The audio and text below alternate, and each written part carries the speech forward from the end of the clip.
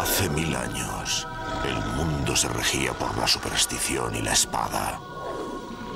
Era una época de oscurantismo, un mundo de terror. La era de las gárgolas. Estatuas de piedra de día, guerreros de noche. Fuimos traicionados por los humanos a los que juramos proteger y transformados en fría piedra durante un milenio por culpa de un hechizo.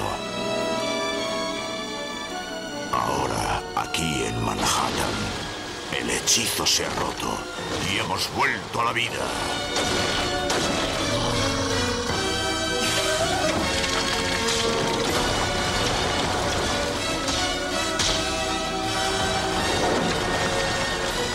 Somos los defensores de la noche.